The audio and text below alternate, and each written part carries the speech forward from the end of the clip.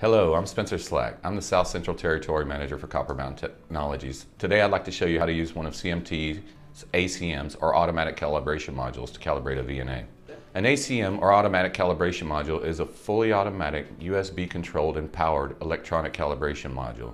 It reduces the number of steps required in the calibration process. We have both two port and four port ACMs available. To perform automatic calibration, follow these steps. First, connect the ACM to the PC using a USB cable. Then navigate to Calibration, AutoCal.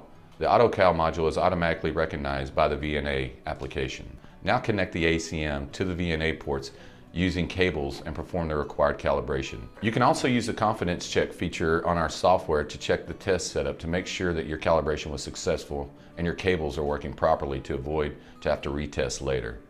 We have a video showing this whole process and you can watch to see how to use a confidence check after you perform your calibration. I hope this information was informative.